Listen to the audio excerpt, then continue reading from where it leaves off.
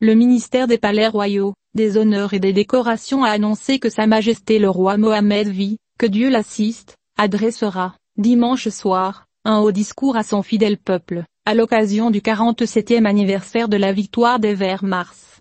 Voici le texte de la déclaration publiée par le ministère à cet égard. Le ministère des Palais Royaux, des Honneurs et des Décorations annonce qu'à l'occasion du 47e anniversaire de la Marche verte triomphante, Sa Majesté le Roi Mohammed V, que Dieu le bénisse et le soutienne, adresse un haut discours à son fidèle peuple. Le discours royal sera diffusé sur les ondes radio et télévision à 20h30 le dimanche 6 novembre 2022 ZAD.